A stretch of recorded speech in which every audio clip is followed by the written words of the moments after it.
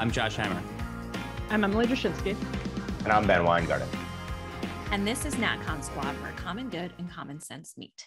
NatCon Squad is produced by the Edmund Burke Foundation, the home of national conservatism. Subscribe now on iTunes, Stitcher, Spotify, YouTube, or wherever you get your podcasts. So, welcome back, everybody. Um, we have a full slate today. Um, we're going to come back to SCOTUS, uh, but we're going to start. Uh, Ben's actually going to start us off with a an unusual white pill. Um, so we're going to start off on a good take today, uh, and then Emily is going to take us into kind of some an interesting uh, discussion of cultural values in a divided society. And then Josh and I are going to finish it out talking about kind of the fallout from the SCOTUS leak, uh, both sort of in real life and also on Twitter. Uh, and as the two merge, uh, what emerges from that. So uh, with that, I'll kick it over to Ben.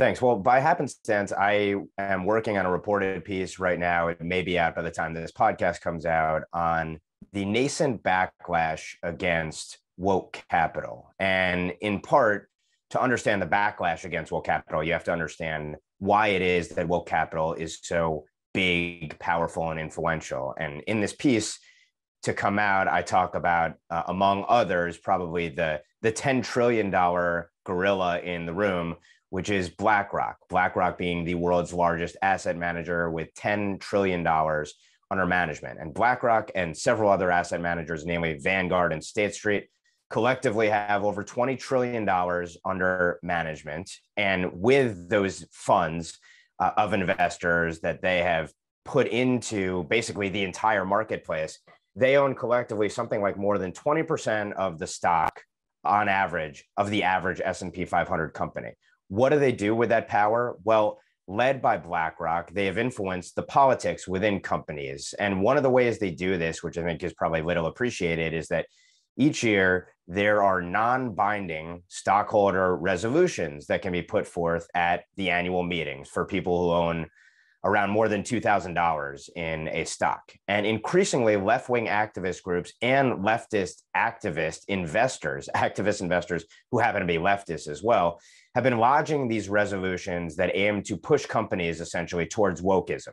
Uh, under the rubric of ESG, environmental socialism, uh, socialism, social and governance standards, basically pushing companies to go green, to get to net zero in terms of emissions, uh, impose essentially diversity quotas, not in terms of viewpoint on their boards, uh, and the like. So, this is one massive lever, the market power of these financial companies led by the major asset management companies to influence corporate America and essentially do an end run around democracy, at least as critics, and, and I'm one of them, would suggest. Well, Vivek Ramaswamy is among others who is leading a counter to the BlackRocks of the world. And just this week, launched a new platform, which will be an asset manager, an alternative asset manager, essentially, to woke capital and combat what's been termed stakeholder capitalism the idea that you should use companies to essentially benefit the cause of left wing activists for in in and to replace that with excellence capitalism investing in the energy companies that the big financial behemoths now discriminate against and a whole slew of other companies as well. And so ramaswamy has launched this fund and in a, in a press release it, it says to depoliticize corporate america and replace essentially stakeholder capitalism with excellence capitalism so this is an alternative market mechanism to provide competition to the big asset managers and begin to fight back in a very direct way against the takeover of corporate America of the woke. So I think it's a news story that's worth highlighting on the merits. It's an interesting part of a nascent backlash that goes well beyond just financial services uh, obviously as well to numerous states. Arizona, for example, is potentially pursuing uh, antitrust violations when it comes to woke capitalist push against oil companies. There have been a whole slew of state government officials who have been seeking to break their pension funds from investing in ESG investments and putting their money into entities like BlackRock's funds this is a way that people have unwittingly been funding companies that might loathe them. And there are many levers now being pulled to try to combat this more than $10 trillion behemoth in the room of woke capital. So uh, I think wanted to start on a sunny note and also put it to uh, the group. You know, what's your take on this? Do you think this is meaningful? do you think there's more to come here?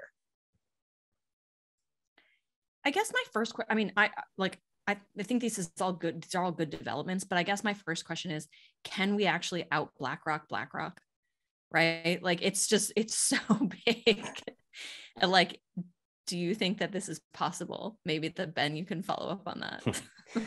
yeah. Well, the, I mean, the positive thing here is that Vivek Ramaswamy and his partners have gotten Peter Thiel, Bill Ackman, one of the most prominent uh, fund managers, hedge fund managers on Wall Street, uh, the CEO, I believe, of Cantor Fitzgerald, and a slew of other pretty prominent people as some of the initial investors in this. So hopefully that would lead others, because there's definitely a herd mentality on Wall Street, to come into this space and flood it with funds.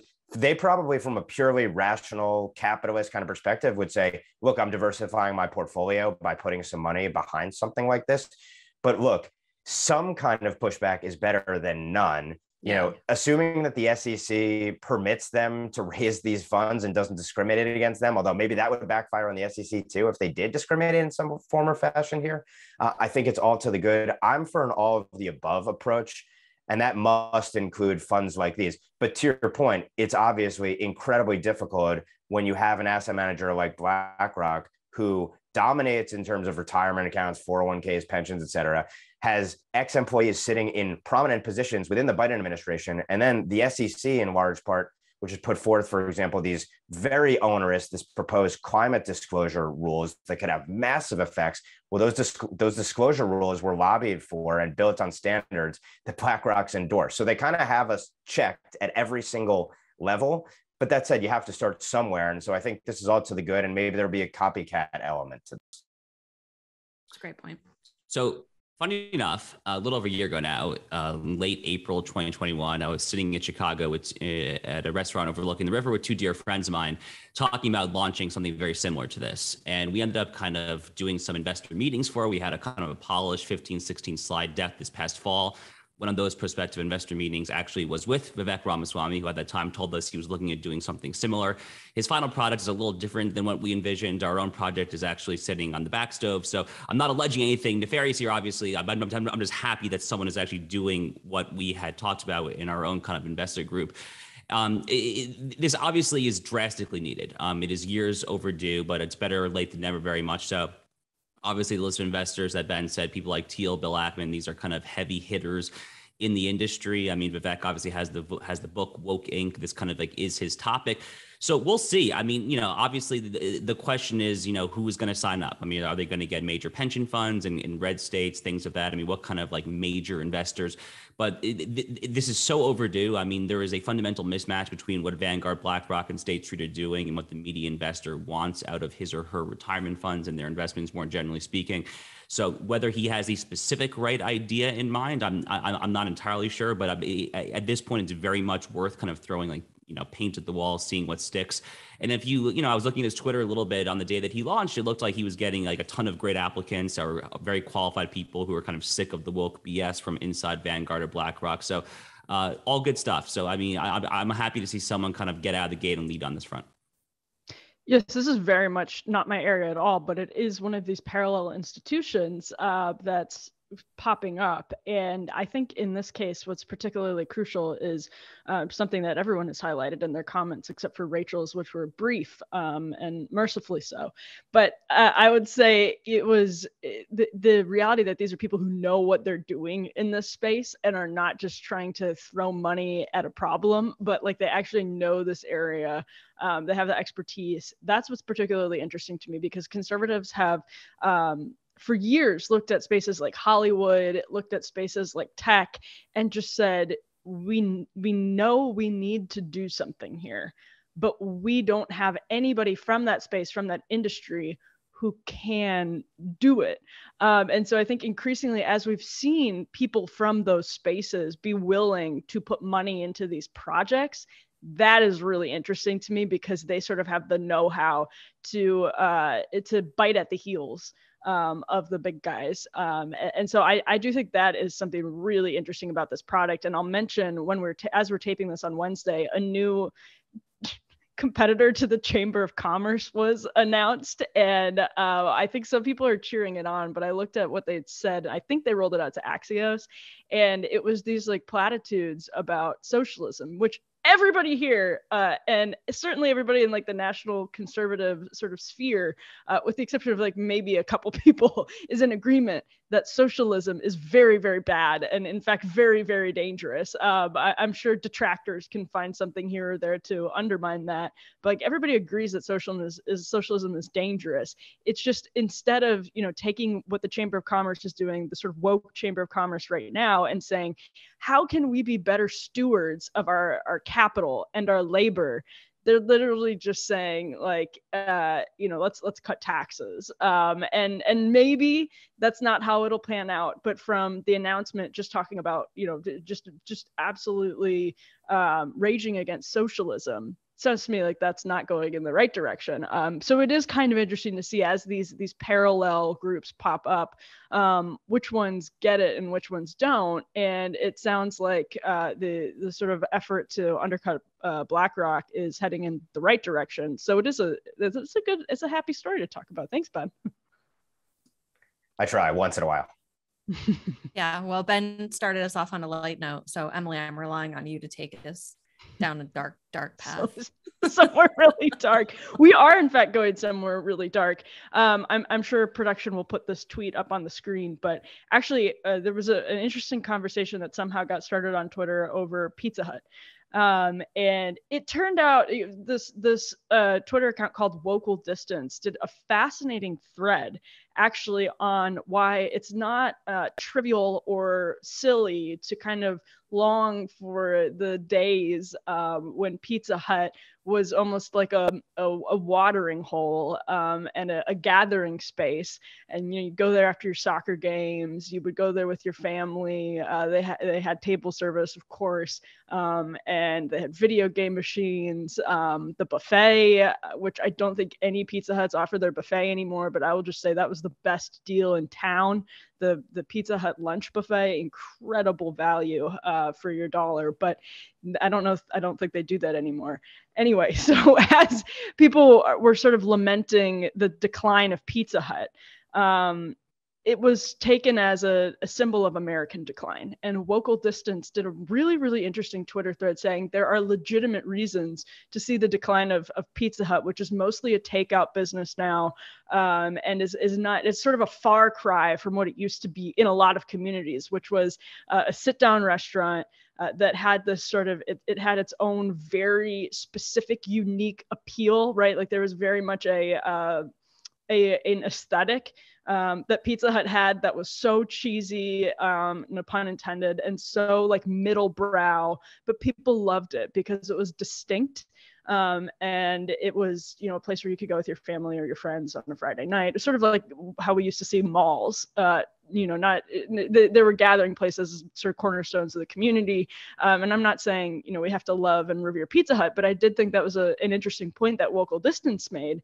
At the end of the thread, Wokal Distance tweeted what I found to be an extremely depressing picture of a young boy sitting on a beanbag chair playing what appears to be N64. Um, he's got all of these wires hooked up, um, and we can put this on the screen. He's got all these wires hooked up to his uh, TV. He's playing a video game, and his room is plastered with posters um, of comic books, Teenage Mutant Ninja Turtle, Turtles, Indiana Jones, um, and outside you can see it's a beautiful day.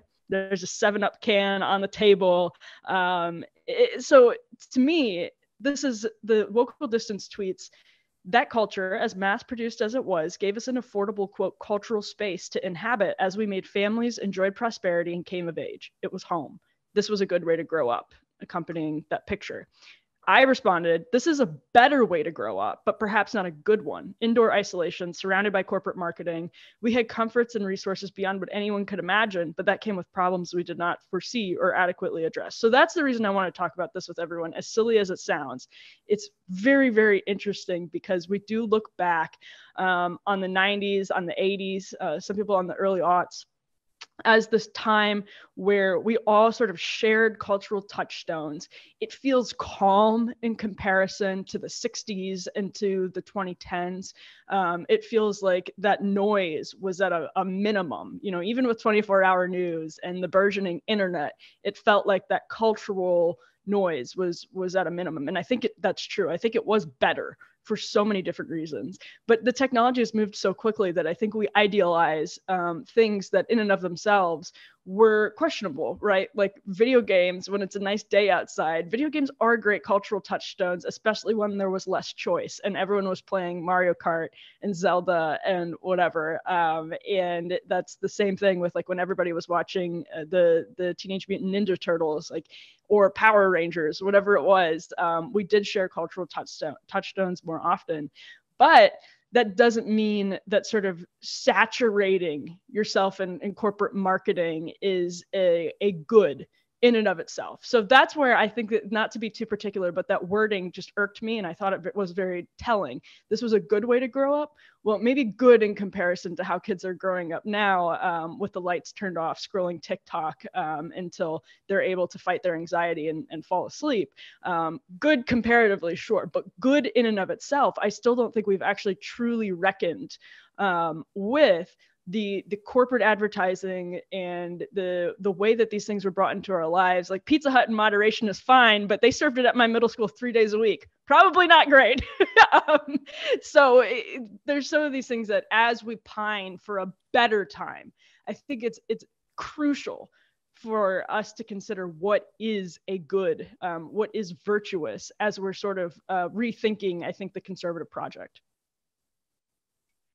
you know, it's interesting. I think the Pizza Hut example is so compelling on a number of levels because um, some the older millennials that are hosting this show may remember Book It if you guys remember the by this, I just mean Emily won't remember because she's too young. But the book it certificates that you would get for like reading books at school that you could exchange for like a personal pan pizza. Can you couldn't even so it was sort of like a community element. It was a community hub because everybody going, you know, if you grew up in a small town like I did, everybody going to the local public school would you'd see each other at Pizza Hut, you know, with our book certificates. We don't even have that now because we can't even agree on the books that should be in public school right? So like you know reading babysitters club is is no longer you know possible because you have to read about gender ideology you know? It's just so it, there's a fracturing i think on on certain multiple levels that you can read into sort of the pizza hut metaphor. But it's interesting because you know i think as the right approaches this question i think very often we try to make policy based on nostalgia a little bit for for the 90s and i claim to be very nostalgic for the 90s.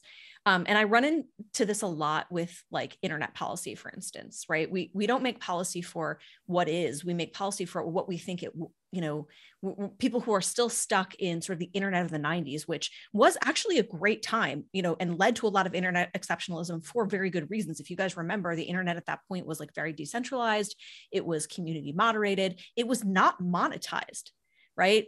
Compared to the internet now, which is a series of you know vertically integrated walled gardens that are premised on addiction right? A 14 year old trying to explore his space and learn about you know whatever on the internet and encounter like friends uh, with like-minded experiences is much much more likely to get sucked into an, algor- uh, an algorithmically driven you know rabbit hole of doom basically than they are to actually have that good experience. So you know i do think that you know when we think about our shared cultural cultural values we have to have them i think as a normative that we want to achieve but at the same time i think we have to recognize that we live in a much more fractured state and i think the right in many cases is still trying to push back and and legislate in many cases like it like it is still the 90s without recognizing how far we've come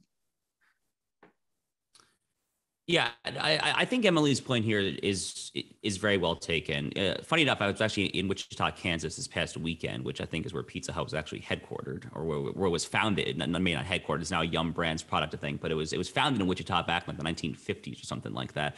Um, I want to come at this from a slightly different perspective because I was thinking about this a lot recently. When I was re- I was in Chicago a few weeks ago, and I saw like in downtown Chicago in the River North neighborhood this like big blaring plus size model advertisement. I don't remember like who it was for, or maybe it was like Victoria's Secret or something. And it was just very jarring. And like I looked to my girlfriend and I was like, is is this like a good thing? And I think I think the obvious agreement was that it's not a good thing.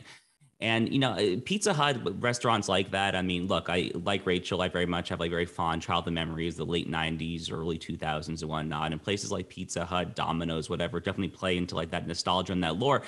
But I think a, a lot of us of this certain demographic in this generation, more generally speaking, have these memories of kind of fast food and not uh, not healthy food products in general. And I guess the angle that I would approach this this topic, this question from, is one, frankly, of obesity and what and what and what people like Roger Scruton would talk about as objective beauty and the need to kind of still get at a notion in society of objective goods and objective beauty, more generally speaking. It's been a little bit of a leitmotif in this podcast, going back to when we started this. I remember we did like a um, a segment on architecture and kind of the need to kind of strive for objective beauty there. But you know, America has a massive obesity problem. We have a problem with the proliferation of fast food with chains like Pizza Hut, and we I think we really need as conservatives to start digging in a little more deeply as to what kind of a pro nutrition, like pro lifestyle public policy agenda looks like. Because it wasn't that long ago that you know Sarah Palin was getting up there with the what was it 32 ounce 72 ounce whatever the heck it was big gulp and you know conservatives were like blindly like cheering blah blah blah, blah. i mean and you know I, I think in retrospect that probably looks a little silly i think our priorities in that were a little misguided um, so I'll start with saying that this is th- these cultural experiences are a little alien to me as a New Jersey suburbanite who would never have been caught dead eating at a Pizza Hut uh, in his childhood. Although, to be fair, there's plenty of Domino's to be had and uh, video game extravaganzas. Um, but no, but I will say, in, in, all seriousness, there are a lot of important elements to this. I mean, one of them is the notion of shared cultural touchstones. That brings to mind for me uh, Charles Murray's Coming Apart, where he talks about the fact that in the past, there were all of these sort of uh, socializing civil society venues where people from all walks of life got together and could set aside differences. And also that those shared cultural experiences created, of course, a shared culture, something that the technologies that we use today, of course, cut completely against. They atomize our culture and really balkanize society. So that's one aspect of it. Um, in terms of the consumerism, I kind of see both sides. Yeah, it's it's somewhat dystopic on the one hand that it's like everything in a person's room is branded in such an over the top way in what's depicted there. Um, but on the other hand, it, it'd be a lot easier to deal with a wholeheartedly consumeristic society if the brands themselves were not really vehicles for uh, ideology and indoctrination. And that's one of the things that, going back to woke capital, one of the problems that we've seen is that every element of American life has been corrupted. And basically, it does really represent an end run around a Republican system of government where political issues are mediated in the arena of politics, not in every single aspect of life. And so, to that extent, I mean, I think we all wish we could go back to a prior generation. Every generation thinks that the one that came before it, uh, I, I, think a lot of people think that the generations before it were better than the current ones. Um, and we're biased, and there's probably some recency bias there. But it certainly was a better America when you didn't get a side of critical race theory with your French fries. And that's where we are today, unfortunately. All right. So on those two topics, Josh, you want to take us back to uh, the drama du jour at SCOTUS? Yeah. So let's pick up where we kind of left off last week's episode. We'll close the podcast with those with two segments roughly about the fallout from that. So as of this recording, we still don't know the identity of the leaker, which I have to say I am actually really surprised by. Um, because we are talking here about a very small sample uh, sample size, a possible leakers, and I, I, just genuinely thought that they would have gotten to the bottom of it by now. Frankly, um, I, I, guess the marshal of the U.S. Supreme Court is not as competent as Louise Mensch thought in that tweet from years ago. Uh, I'm not sure, honestly, the extent to which the FBI or anyone else is involved. It seems like they're not involved, but regardless, um, you know, we're recording this on Wednesday, May 11th. This morning, there was yet another article of Politico with the same byline, Josh Gerstein, who seems to have another leak. Uh, it is probably the same leaker. The leaker, if anything, feels emboldened. And I guess it's possible it's a different leaker, but it reads to me like it's the same leaker who confirmed to Josh Gerstein that the five justices who joined Justice Alito's draft opinion in the Dobbs case to overturn Roe versus Wade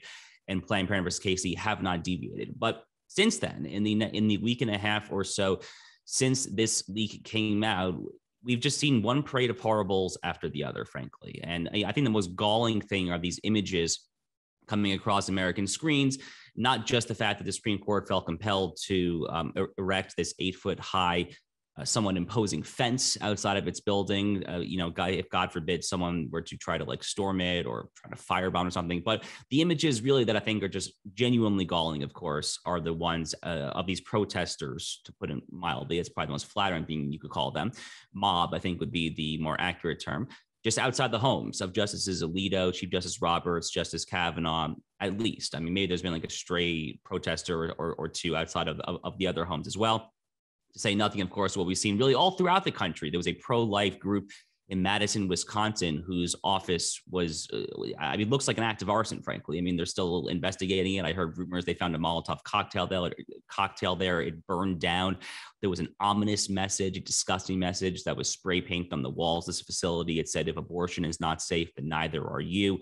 We've seen in churches throughout the country. There was a Catholic church recently out in Los Angeles where these uh, uh what, what can only be called satanic forces, frankly. I mean, I mean, these rabid pro-abortion, pro-Antifa, Marxist-style folks kind of marching in in the middle of of mass. And we really just, it, it, seems like whenever we can't reach a new low, we have reached a new low. um, but one thing that I've been talking about now for a while you know, it might have been our friend Mike Davis who first discovered this. I'm not sure who kind of first got this out there, but as the case may be, there actually is a federal statute that is directly on point here. Um, so it, I'm just going to read it. Is 18 U.S. Code Section 1507 quote. Whoever with the intent of interfering with, obstructing, or impeding the administration of justice, or with the intent of influencing any judge, juror, witness, or court officer in the discharge of his duty pickets or parades in or near a building housing a court of the United States or in or near a building or residence occupied or used by such a judge, et cetera, et cetera, et cetera. Why, for the love of God, why is the Biden DOJ not invoking this statute? Why is Merrick Garland and, and his DOJ and his line attorneys, why are they not just doing something to try to disincentivize these protesters and these mobsters? And I think the reason, obviously, and you know I'll, I'll hand over to you guys on this thought but my two cents is that the reason is obvious which in this case you know the mobs obviously are in cahoots with the ruling class the ruling class now is necessarily the, the analogy that I've seen kind of Sohrab Ahmari draw in some of his recent tweets in his column, I think this is right. What the modern Democratic Party is starting to look like, frankly, is what Hezbollah looked like kind of in the Middle East and in Europe, where you had the so called military wing and the so called political wing. And it looks a lot to me like that's what's happening with the Democratic Party, where the political wing at best is kind of just winking, winking to the military wing, but they're certainly not going to prosecute, it seems like. So it's just appalling stuff. But um, I'm not sure if you guys think I'm being a little over dramatic here or maybe not. Well, I think even worse than not, I mean, on par with not prosecuting is the fact that yesterday, Tuesday, Jen Psaki was asked about this and she said, Oh, we encourage people to continue to protest outside the justice's home. You know, even giving her the benefit of the doubt that she didn't understand the federal statute or understand that this is a criminal act, like that's egregious that the White House would be sort of lending its tacit endorsement to what we've seen you know at these protests which themselves you know appear to at least violate the statute but they're you know hurling or screaming obscenities you know kind of with the int- attempt to or with the intent to intimidate um, you know sitting justices of the, of the supreme court. And i think you know it's interesting i think Sohrab also made this point in his column. It's like well why wouldn't the left be doing this right? They did this for two years um, you know, and they've gotten away with it, you know, beginning in 2020 when they started burning cities, uh, you know, after the death of George Floyd, and, and they got what they wanted, right? They sort of changed corporate America's tact uh, towards issues they say they care about. They made a hell of a lot of money, uh, and you know, they they got congressional Democrats to like kneel in the rotunda, right, on behalf of the cause that they said they support. So, you know, how they are evolving, I think you can't divorce that from the fact that this behavior has been incentivized and is if it's not prosecuted and it's not dealt with handily it will continue. This is now how we rule our country through the mob and through threats and actual violence.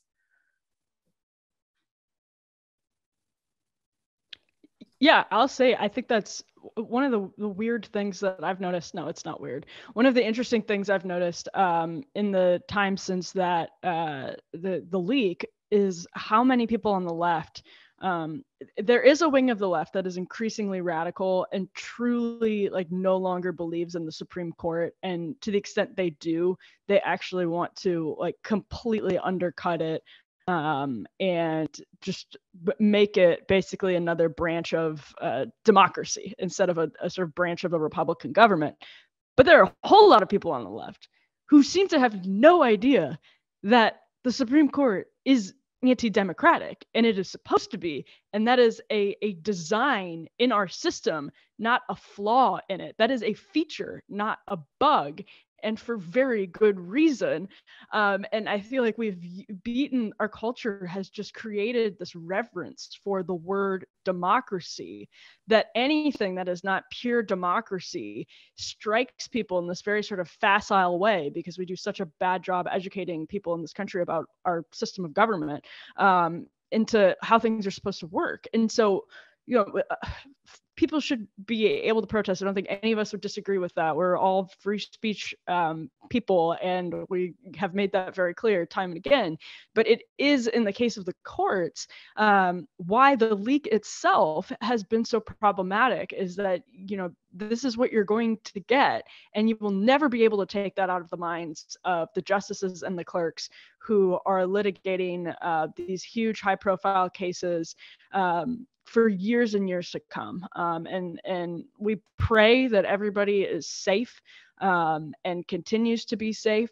But this is exactly why. I mean, you cannot put the genie back in the bottle. This has already happened.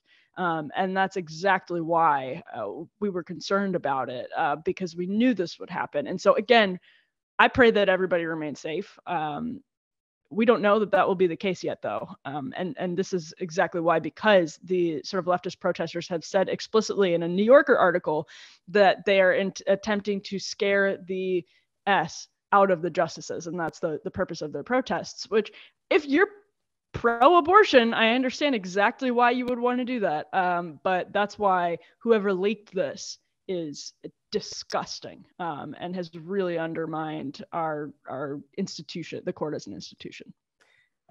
Well, on the point about the ignorance in the American public of our system, I would say that's purposeful. This is by design. This is what our education system has wrought, and it's by design because it is aimed at total political dominance, not the free republic that we're supposed to be. Um, i will jump around. So first on Josh's uh, sort of rhetorical question of like, where's the beef with the leaker?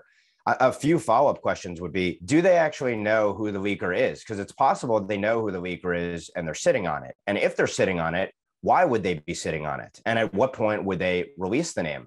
If they haven't figured it out, how incompetent are the people looking into this, given how closed the loop should be in terms of the potential leakers? And then the last point is for, again, and I, have been critical in the past, and I'll probably be critical in the future again, for Mr. Institution protecting Chief Justice, how have you not put down the final ruling here? Because every single day that goes on without putting out that ruling, the chances of something horrible happening continue to go up. And maybe that will happen irrespective of the timeline, because if the ruling does come down consistent with the draft opinion of Justice Alito, then of course the left is going to explode. Uh, but that, of course, you know, the court should not make its decisions based upon whether the left is going to explode or not. And certainly to diffuse the institution imperiling act of the leaker, it should have put the ruling out immediately and said, we will not be intimidated. We will go about our work. Um, so all that aside, you know, in terms of the the kind of hypocrisy here of where's the DOJ, where's the FBI, I think this is precisely the point. It's precisely the point that their side can act with total impunity and they will hold Americans they don't like and who disagree with them on issues to a completely different standard, of course, undermining our, our justice system, the rule of law, and undermining democracy.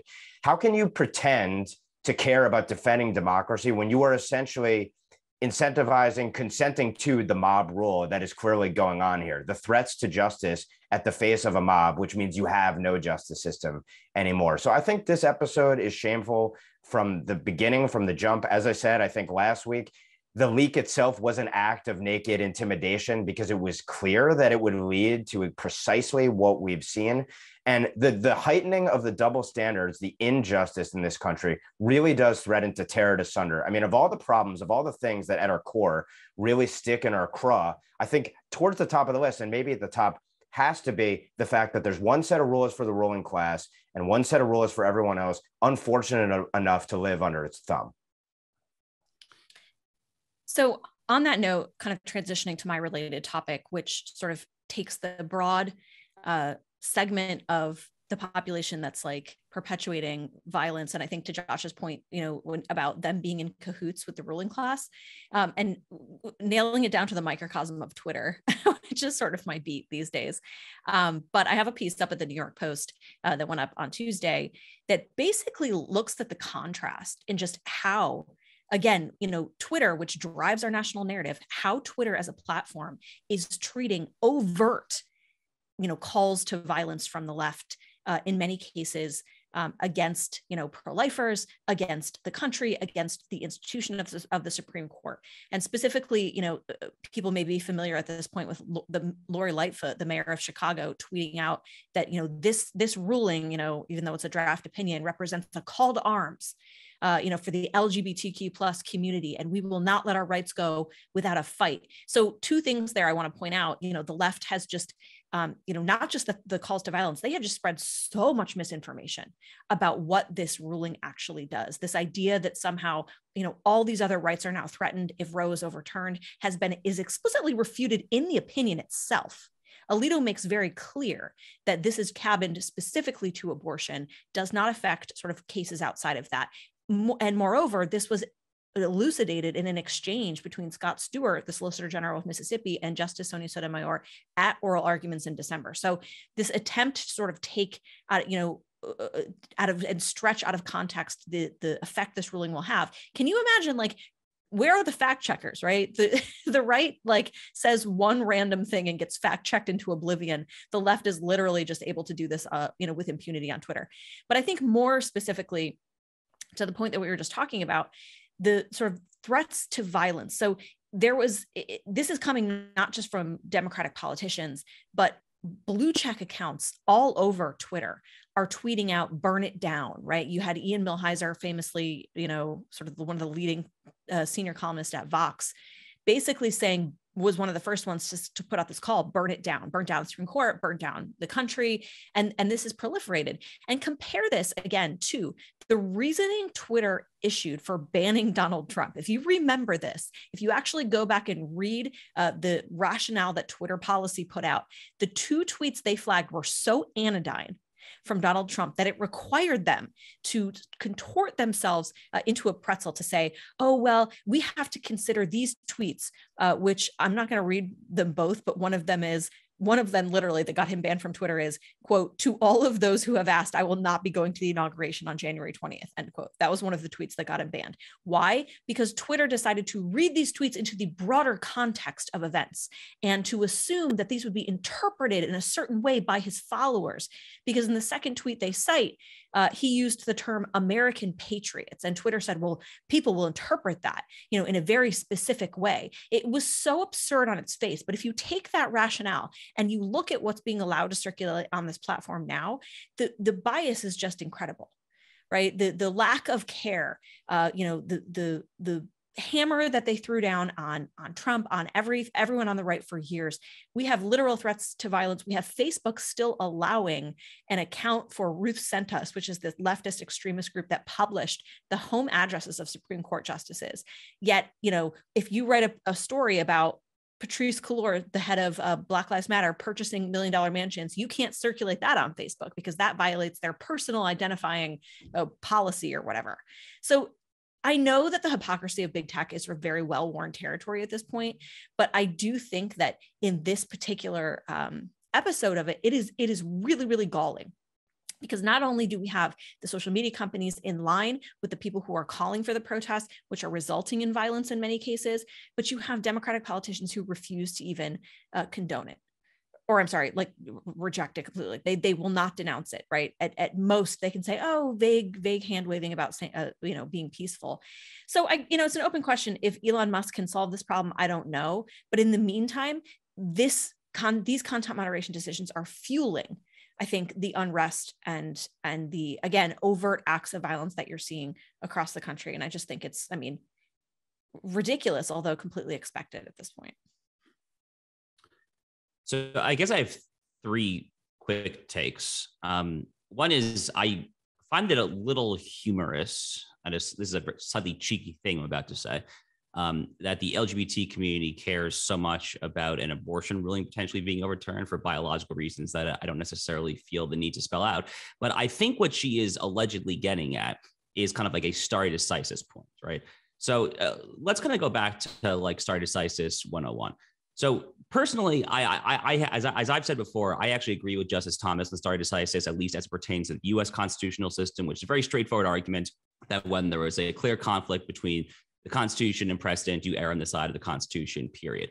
But the point is that Justice Gorsuch on the current court is really the only current justice who has clearly kind of telegraphed that he fully agrees with Justice Thomas's view of stare decisis. The other even conservative justices do have this kind of multi-part balancing test. And one of like the old school kind of Scalia inspired components of a stare decisis balancing test is always quote unquote reliance interests. Now, the thing, as Alito explains very carefully and thoroughly in his leaked draft opinion, reliance interests don't play a role in abortion because simply having prior had an abortion under the Roe regime 15, 20 years ago does not, that, that is not a reliance interest. That act is done. But in the context of marriage, while I have you know vocally and publicly oppose Obergefell and hope that it is overturned. When you kind of get to the issue of doling out marriage licenses and lifestyle decisions that have been made, if you accept that stare decisis has this kind of reliance interest components, that, that's fundamentally a different calculation. So from their perspective, I, I, I, frankly would not be as worried given the current composition of the court pending some some drastic changes. But the only final thing I want to say is I, I, think for certain kind of um, you know viewers from like the Media Matters crowd, if by chance they listen to this podcast, they might hear folks like Rachel and me talking about how you know we want free speech, but then like we don't want some. They might they might say that oh we're being hypocrites, whatever. No, we're, we're actually really not. Um, I, I, think a lot of us have been consistent in calling for a First Amendment standard as, as, far as what should be required to not be censored on Twitter. And even under current First Amendment law, going back to Brandenburg versus Ohio in 1969, imminent lawless action incitement is not permitted. And you know, if you if you go back to the previous segment, 18 U.S. Code 1507 is lawless action. So imminently trying to encourage people to commit a lawless action would be verboten under that First Amendment standard on Twitter.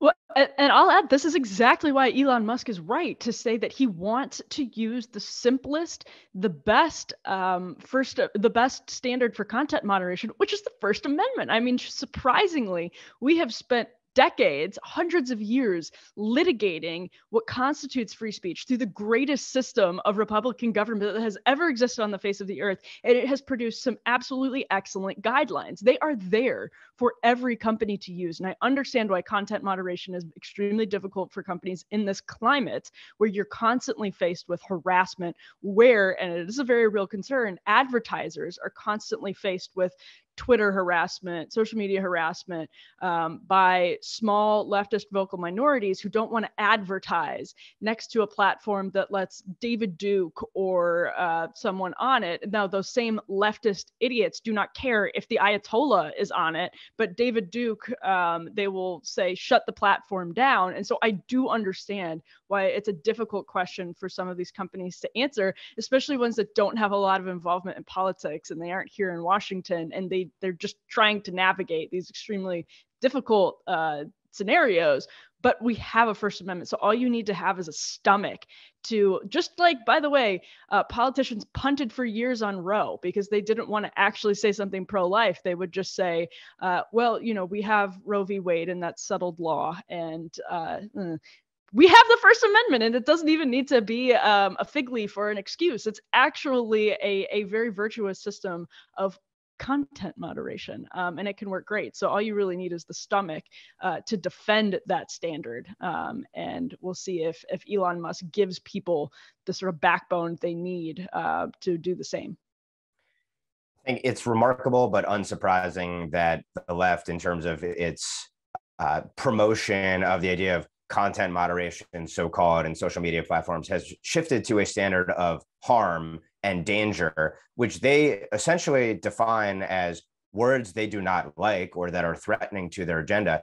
But then when it comes to actual appearance of at least incitement to violence or violence itself, they're more than willing to call it mostly peaceful and more than willing to call it legitimate rhetoric. And what I think at core, what it shows is that from the administration that now has the disinformation governance board and a whole slew of other bodies that are focused on combating purportedly harmful information, but which at the same time doesn't go out and prosecute individuals who actually are threatening democracy in the way of the lives of Supreme Court justices or in their social media adjuncts. It's all so brazen. It's almost intentional at a certain point that it's in your face it's obviously a bad faith effort and they're running amok because there is no counter to it. So, you know, go back to if you don't know what time it is, then you're never going to compete here. And thank God for Elon Musk. Uh, but the assault against him, as I've argued before, is going to be vicious. It has been vicious already. What happens when you start having servers that potentially threaten to kick Twitter off or Twitter gets kicked out of the Apple store? Those are going to be real defining tests here in the social media realm. I'm hopeful that he will triumph, but it's yet to be seen. So we can open it up to final thoughts. And, you know, I think staying on this topic, because I just, I do think it's so significant. Um, you know, I, the parish I attend where I go to mass um, here around DC was completely locked down this Sunday. And, you know, the sort of uh, side doors were were locked. We had extra ushers, we had security, and apparently an email had gone out to the whole parish that like be prepared, right, for people to show up at your at your place of worship. And it just really drove home this issue with the left. Like this is not, you know, we can make comparisons to BLM, we can make comparisons to the riots, but this is so ingrained in the psyche of who they are. And you know, I I I, say this I don't say this lightly, and, and it was something that my priest said on Sunday, where he said, This is literally demonic. You know, the fact that they, the lengths that they will go to to ensure you know they'll, they'll cloak it in the in the phrases of, of empowering women and choice and you know my body and all these things. But what it is is literal murder and dismemberment of children in the womb.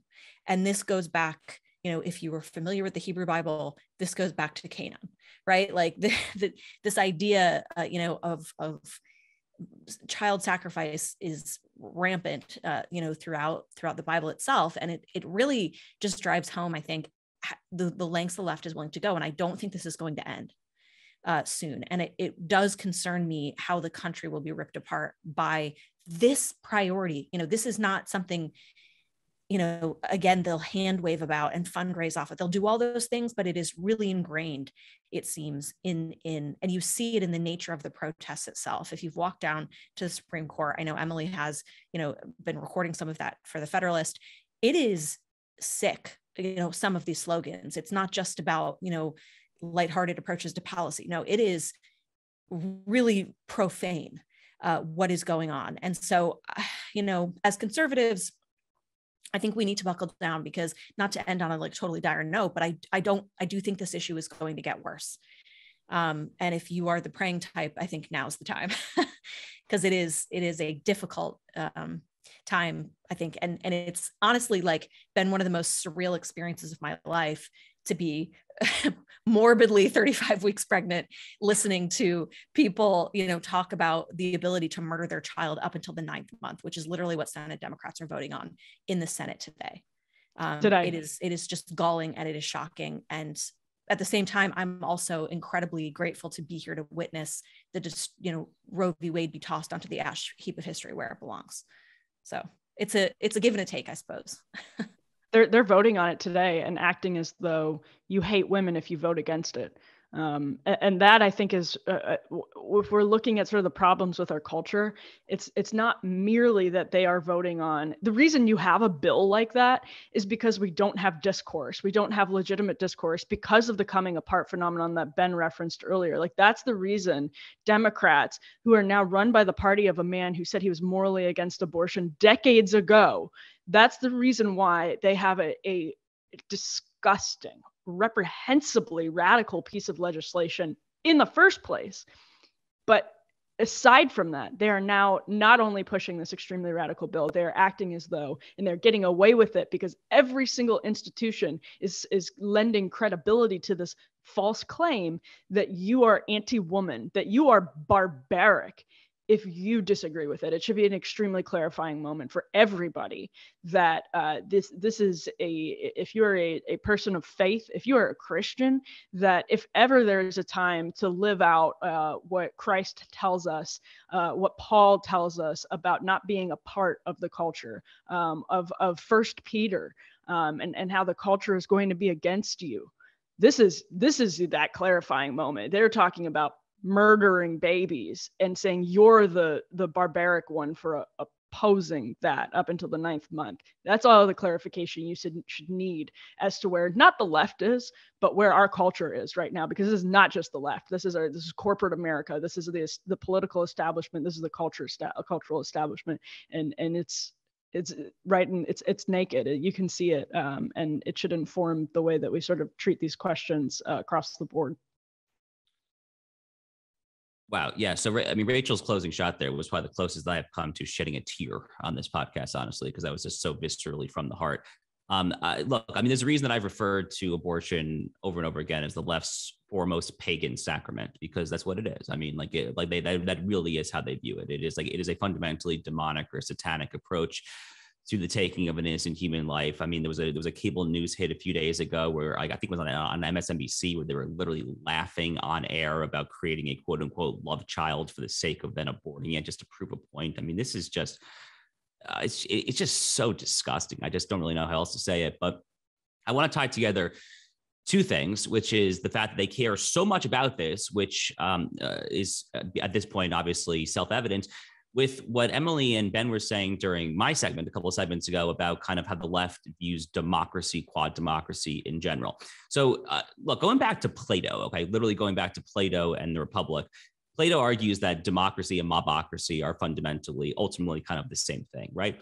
The founders understood this, obviously. That's why we have this elaborate system of, of separation of powers, federalism, checks and balances. The most famous quote there would be Madison, Federalist 51. If all men were angels, none of this would be, would be, would, would be necessary.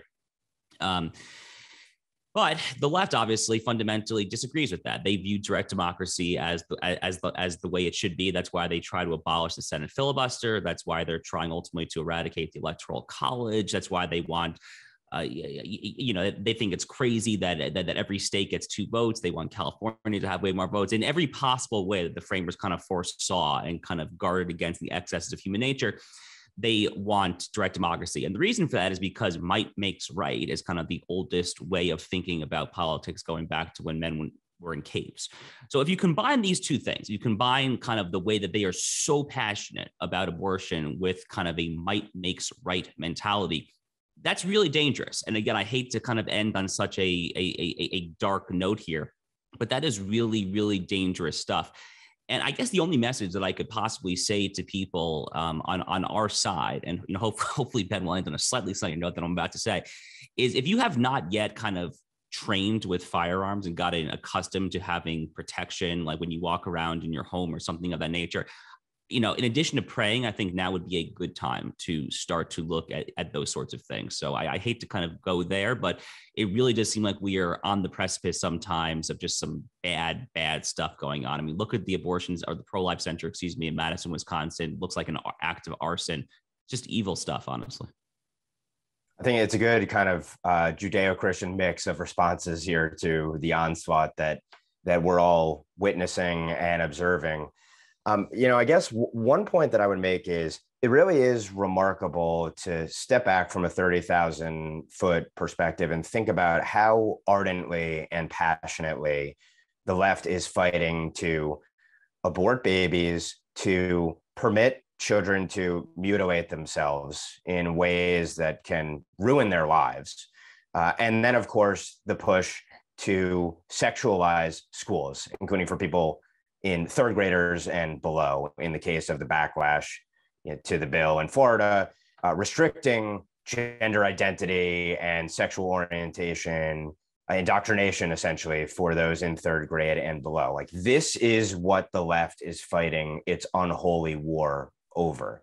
And I think what it speaks to is uh, it speaks to an assault on human nature, on our common sense, on the basic tenets of civilization, the basics of human life.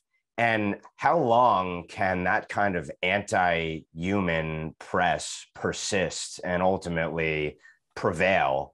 Is, is an open question here. And the reality is that, regardless of how passionately they promote their ideology and the fact that they back it with force, literally in the streets, the facts of life at the end of the day are conservative and i and those and that does influence people no matter how addled they've ultimately been from the indoctrination. So if we're going to end it to some extent on a positive note I, I, guess i would say let's pray that human nature prevails and that people see the disastrous consequences the insanity of what's being put forth the anti-civilizational nature of the shock troops who are backing it with force. I think people for a long time have been bullied into submission and quieted. They don't want to go against the current thing uh, as it's been cast on Twitter and elsewhere. But at a certain point, it comes down to what kind of country do you want to live in? Do you want your children to live in? And I think most normal people look at this to the extent they see it and must recoil and be appalled at it. And you know, we'll have a chance to see as a proxy you know, in 2022 if there is that backlash and if some form of justice really is meted out at the ballot box. Not that I think the representatives on the purported other side of this issue are really with us on it, but nevertheless, people do have a chance to provide a modicum of self correction here. And let's pray that that happens. But in the interim, I expect the pressure, the intimidation, and likely the violence to only get significantly worse because they feel that that is the only way ultimately that they can win. And we shouldn't cower in the face of that. We should stand up to it and speak boldly, as I've argued before, boldly and honestly and courageously in the face of the mob rule that they're intending to impose upon us. Yeah, just to tie a bow on it so it's not, you know, completely like depressing. I do think that even though this is, I think, a really dark time or could be for the country, you know, this is something that I think is also a privilege. It's a privilege, again, to be here to see the destruction of 50 years of, you know, state sanctioned murder in the womb. That's an honor. And it's also a privilege, I think, to be here to stand up and to speak the light of truth into darkness. You know, that's not something everybody gets to do in a very, very high stakes way uh, like we do now. So, on that note, uh, on behalf of Ben, Josh, and Emily, I'm Rachel Bovard. This is NatCon Squad, and we will see you on, on the next episode.